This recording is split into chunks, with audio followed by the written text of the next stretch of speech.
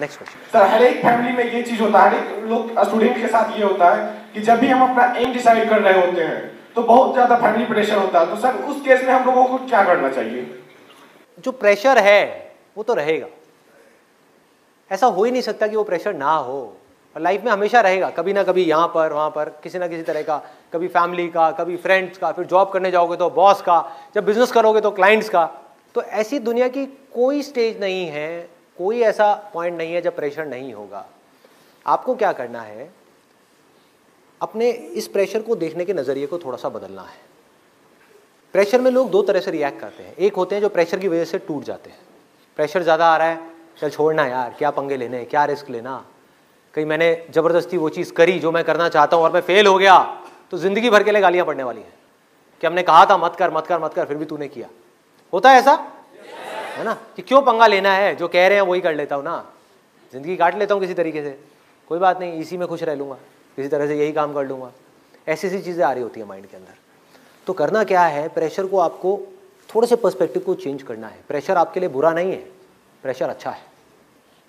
जितना ज़्यादा प्रेशर हो, उतना अच्छा है। क्योंकि आपको मौका मिल रहा है अंदर से स्ट्रांग होने का। अगर कोई ऐसा बच्चा है, ऐसा स्टूडेंट है, जिसके ऊपर कोई प्रेशर ही नहीं आया अपनी पूरी की पूरी लाइफ में उससे बदकिस्मत और दुनिया में कोई नहीं है।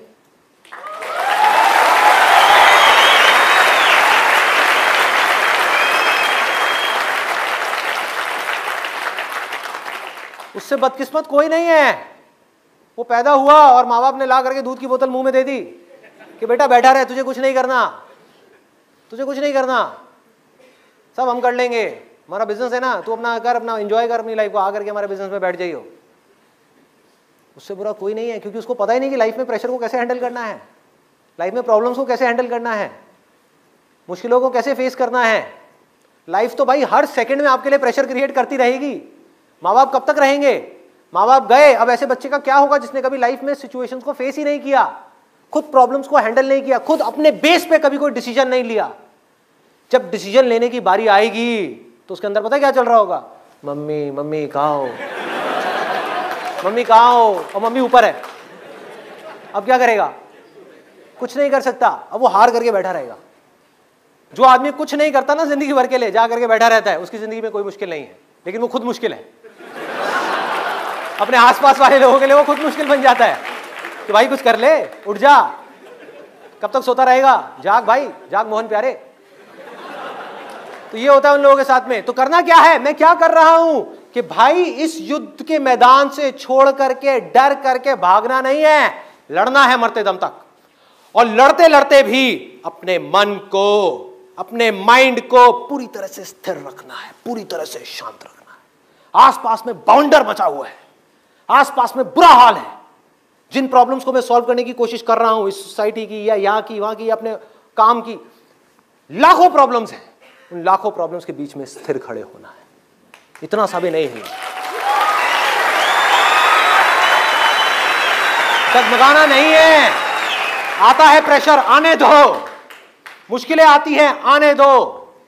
और जब मुझे लग रहा होता है ना कि लाइफ बड़ी मतलब कोई प्रेशर ही नहीं है लाइफ के अंदर तो मैं जानबूझ करके पंगे लेता हूँ। जानबूझ करके कुछ ऐसी सिचुएशंस क्रिएट कर देता हूँ कि कुछ चीज़ें आए। और फिर मैं देख सकूँ कि मेरे में कितना दम है। जो लोग स्पिरिचुअलिटी की बात करते हैं और समझ नहीं पाते स्पिरिचुअलिटी को, वो क्या कर रहे हैं? कुछ पचास बुक्स पढ़ी, रट ली। और जरा सी आपसे कोई बात हो रही होगी ना, बिना पढ़े, रटा हुआ है। और भगवत गीता का श्लोक मारेंगे। ले। पेज नंबर ये, श्लोक नंबर ये ये। क्या हो रहा है? रट लिया, सब कुछ याद कर लिया। अपने अंदर कुछ बदला? अंदर से देखा कि कुछ साफ़ हुआ, नहीं हुआ? अपने मन को साफ़ किया, अपने मन को स्थिर किया, शांत किया, जो बातें लिखी हैं, उन बातों को प्रैक्टिस किया। नहीं किया। बल्कि उसमें लिखा है कि अपने अहंकार को कम करना है और भगवत गीता को पढ़ करके, ये सब रट करके अपने अहंकार को बढ़ा लिया कि मैं बहुत बड़ा ज्ञानी हूँ। उल्टा हो गया।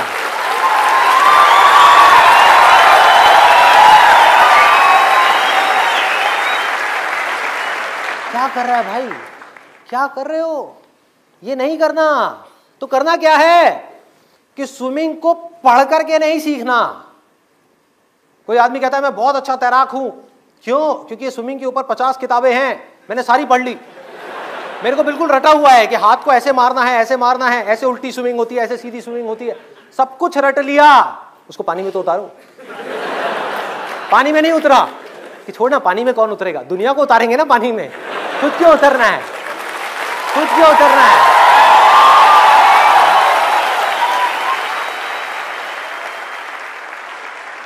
स्विमिंग को पानी में उतर करके सीखना है। तैरना है, युद्ध को लड़ना है, युद्ध से डरना नहीं है, प्रेशर से डरना नहीं है। एक इंसान के लिए सबसे अच्छा अगर कुछ हो सकता है तो वो ये है कि उसकी ज़िंदगी में बहुत मुश्किलें आए और फिर भी वो सारी मुश्किलों का सामना करते करते करते करते आगे बढ़ता चला जाए। इससे अच्छा कुछ नहीं होता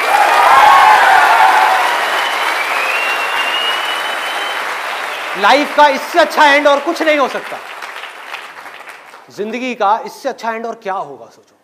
आपकी उम्र हो गई है सत्तर साल, अस्सी साल और आप पीछे पलट करके देख रहे हो कि सत्तर साल के अंदर, अस्सी साल के अंदर ये हुआ ये हुआ ये हुआ अच्छा ये हुआ था, ये हुआ था, ये हुआ था।